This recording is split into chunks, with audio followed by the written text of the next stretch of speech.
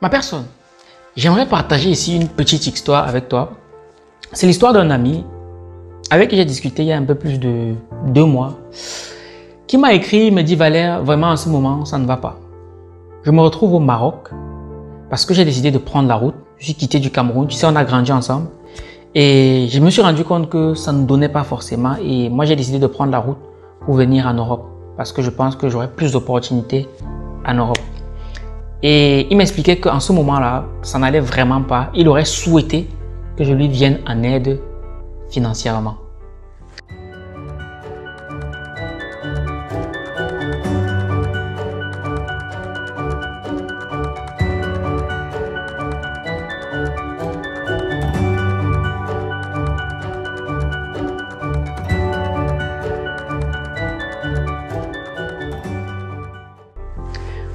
Ma personne personnelle, j'espère que tu vas bien et j'espère que comme moi tu as soif de réussite.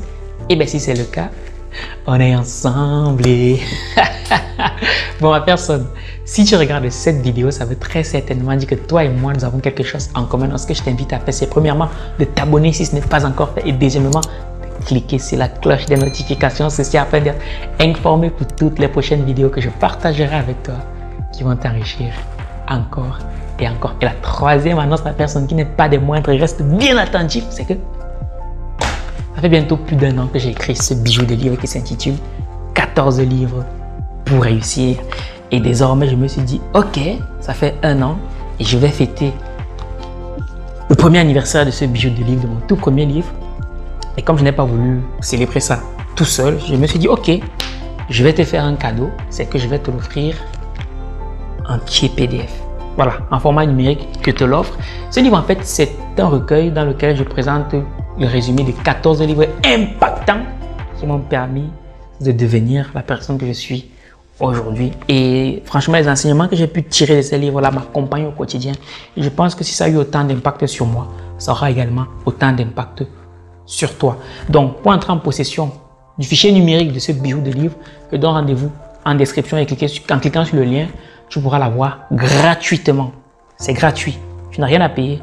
Dans ma personne, tu as une seule chose à faire, c'est aller en description ou cliquer sur le lien qui s'affiche juste en haut de l'écran. Sur ce, ma personne, permets-moi de me présenter. Si tu ne me connais pas encore, je m'appelle Bélias Valère, je suis étudiant en cinquième année de médecine à la faculté d'Aix-Marseille en Provence, mais je me définis aussi et surtout comme un étudiant chercheur d'argent parce que ma personne, aller à l'école, c'est bien avoir de bonnes notes, c'est bien avoir un super diplôme, c'est bien, mais la vérité, c'est qu'on ne mange pas les diplômes. Nous vivons dans un monde où les biens et services sont échangés moyennant de l'argent. Donc, tu vas avoir réussi sur tous les plans de ta vie, mais si tu es cassé sur le plan financier, ton succès ne sera que partiel. Ce que moi je t'invite à faire, c'est d'avoir un pied à l'école, un pied dans le business. Donc, si toi et moi nous sommes d'accord là-dessus, on peut tout de suite rentrer dans le vif du sujet. Dans ma personne, je te racontais tantôt l'histoire d'un ami d'enfance avec qui j'ai grandi et qui a décidé de prendre la route pour se rendre en Europe et qui en ce moment est bloqué au Maroc. En fait, cette histoire, c'est l'histoire de beaucoup d'autres jeunes et moins jeunes qui ont perdu confiance en l'Afrique et qui ont décidé d'immigrer par tous les moyens possibles parce qu'ils se disent que l'Eldorado se trouve ailleurs, que la richesse se trouve ailleurs. Moi, honnêtement, son histoire m'a beaucoup marqué je me suis posé une question. Est-ce que vraiment la richesse, l'enrichissement dépend du lieu dans lequel on se trouve? Après mûre réflexion, je me suis rendu compte que non. L'enrichissement n'a rien à voir avec le pays dans lequel on se trouve. Pourquoi? Pour la simple raison que il y a des riches en Afrique et il y a des pauvres en Europe. Malheureusement, beaucoup d'entre nous se contentent uniquement d'avoir pour modèle les pauvres qui en Afrique. Ils ne voient que la pauvreté autour d'eux parce qu'ils ont un mindset orienté pauvreté. Ils ont l'impression que c'est parce qu'ils sont en Afrique qu'ils sont pauvres. Ils deviennent fatalistes alors que ça n'a absolument rien à voir. La pauvreté n'a rien à voir avec la région dans laquelle tu te trouves. Pour la simple raison que si autour de toi, il y a une personne qui a pu devenir riche en partant de la pauvreté, eh bien, il y a de fortes chances que si toi aussi, tu penses comme cette personne et que tu agis comme cette personne, toi aussi tu deviendras riche. Devenir riche n'est pas une question de sorcellerie, c'est une question de manière de faire les choses. Et c'est d'ailleurs pour ça que Wallace Wattles a dit dans son livre qui s'intitule La science de l'enrichissement que L'enrichissement est une science exacte comme l'algèbre, la mathématique et tout ce qui va avec là. Oui. Devenir riche, le secret réside dans une manière de faire les choses. Donc, je disais tantôt dans une autre vidéo que les riches sont très logiques. Et plus je discute avec les riches, plus j'interagis avec les riches, plus je passe du temps avec eux, je me rends compte que les riches sont hyper logiques tandis que les pauvres réfléchissent énormément avec les émotions. Je m'explique. Que dit la logique? La logique dit, tous les hommes sont des mortels. Or, je suis un homme, donc je suis mortel. Donc le riche se dit, si je trouvais quelqu'un autour de moi qui a pu devenir riche en partant d'un état de pauvreté, alors moi aussi, si je pense et je fais comme lui, je pourrais devenir riche. Donc, peu importe l'environnement dans lequel tu te trouves, si je te comporte d'une certaine manière, il y a de fortes chances que toi aussi, tu deviennes riche. Ça n'a rien de sorcier. Nous sommes dans un monde où de cause à effet, les mêmes causes entraînent toujours les mêmes effets et les riches le savent. Ils savent que si tu utilises tout ton argent pour consommer, pour dépenser, pour faire n'importe quoi, mais la suite logique, c'est la pauvreté.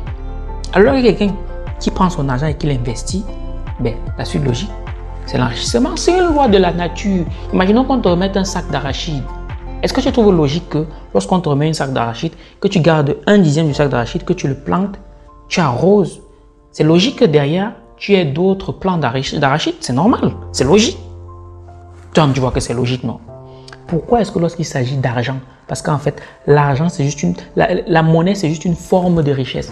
Pourquoi est-ce que lorsqu'il s'agit de la monnaie fiduciaire, ça doit être une question de sorcellerie? Si aujourd'hui je viens te voir et je te dis, ma personne, tu as un sac de maïs chez toi. Ok. Bon, ce que tu vas faire, c'est que tu vas manger une partie de ton maïs. Et l'autre partie, tu vas aller semer, tu vas arroser, tu vas suivre dans le temps. Si demain je te dis que ton, le maïs que tu as semé a produit un champ de maïs, tu vas trouver ça logique, non? Tu vas trouver que ce n'est pas sorcier. Mais pourquoi quand il s'agit d'argent, on veut toujours mystifier les choses? C'est exactement la même chose. C'est une manière de faire. Je vais prendre un deuxième cas de figure, ma personne. Tu sais, aujourd'hui, quand on voit Samuel Eto'o, quand on voit DJ Drogba gagner des milliards en jouant au football, les paresseux vont commencer par dire que non, c'est le don de Dieu. Ils sont talentueux. Ils avaient ça dans le sang. C'est pour ça qu'ils ont autant prospéré. Oui, je veux bien croire que c'est parce qu'ils ont eu un talent. Mais la vérité, c'est qu'on a tous un talent.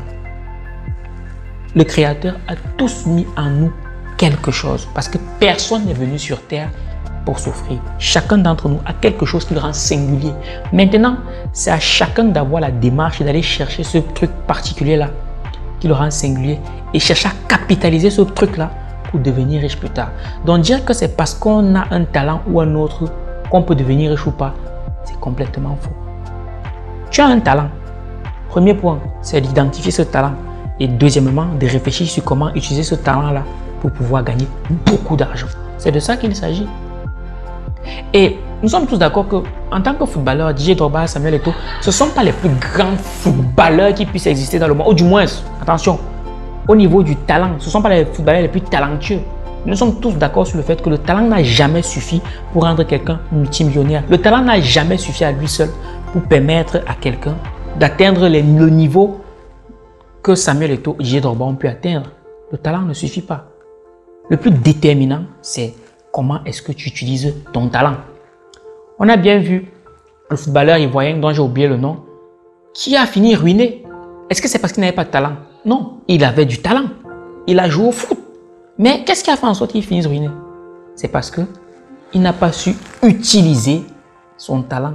Il n'a pas su utiliser ses ressources pour pouvoir capitaliser plus tard. C'est ce qui a fait en sorte qu'il finisse ruiné. Donc, deuxième clé ici, c'est que avoir du talent, c'est bien, mais ce n'est pas le moyen le plus déterminant qui va te permettre de savoir si tu vas devenir riche ou pauvre. Non, ça revient encore à comment est-ce que tu utilises ton talent.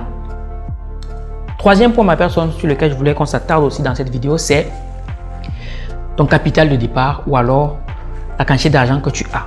Tu sais, Ricardo Kanyama, dans son livre qui s'intitule La chèvre de ma mère, qui est disponible sur le site internet argentlivre.com, qui est un livre qui parle d'intelligence financière et qui est juste magique, je te conseille vivement de l'acquérir. Et en ce moment, il est en promotion. Il dit ceci, devenir riche n'a rien à voir avec la quantité d'argent que tu as, mais c'est comment est-ce que tu utilises ce que tu as. C'est de ça qu'il s'agit. Ça, c'est une clé qui m'a permis franchement de passer de 30 euros dans le business de basket à 4000 euros de chiffre d'affaires en l'espace d'un an. Parce que comme l'a dit un grand penseur, si vous pensez que vous pouvez ou que vous ne pouvez pas, dans les deux cas, vous avez raison. Si tu penses que parce que tu es né dans une famille pauvre, tu vas demeurer pauvre, tu as raison. Parce que qu'est-ce qui va se passer? Si tu crois que c'est ça, eh bien, le fait de croire que comme tu es né dans une famille pauvre, tu vas demeurer pauvre, tu vas te comporter comme un pauvre et finalement, tu vas demeurer pauvre. Alors que si tu crois que tu peux devenir riche, même si tu es né dans une famille pauvre, tu vas te comporter comme quelqu'un qui veut devenir riche et tu vas devenir riche. Donc maintenant, c'est à toi de choisir le type de croyance que tu vas adopter comme étant les tiennes. Pour ainsi dire, ma personne, ton capital de départ, c'est déjà toi-même déjà. Tu as tout ce qu'il faut pour devenir riche. Mais tout réside dans comment est-ce que tu vas utiliser ce que tu as déjà. Donc, c'est pour te dire que devenir riche n'a rien à voir avec l'environnement dans lequel tu te trouves. Ça n'a rien à voir avec ton capital de départ. Ça n'a rien à voir non plus avec ton talent. Mais ça a à voir surtout avec une manière de faire. Comment est-ce que tu utilises ce que tu as déjà. Si tu veux en savoir plus en ce qui concerne la science de l'enrichissement, je donne rendez-vous dans ma formation qui s'intitule Comment développer son intelligence financière. Cette formation, c'est une formation qui a 8 heures de vidéo, qui est, qui est juste géniale et franchement impossible de sortir de là sans être complètement transformé. Cela étant, si tu veux entrer en position de cette formation exceptionnelle, je donne rendez-vous en description ou en cliquant, en contactant le numéro qui s'affiche juste en dessous de l'écran. Et crois-moi, tu vas te régaler. Parce que devenir riche n'est pas une question de sorcellerie, c'est une question de manière de penser, de manière d'agir et donc de manière de gagner de l'argent. Donc voilà ce que je souhaitais partager avec toi dans cette vidéo. J'espère que cette vidéo t'aura été utile. Si c'est le cas, n'hésite pas à cliquer sur tous les boutons et je donne rendez-vous à ma prochaine vidéo. Minakano.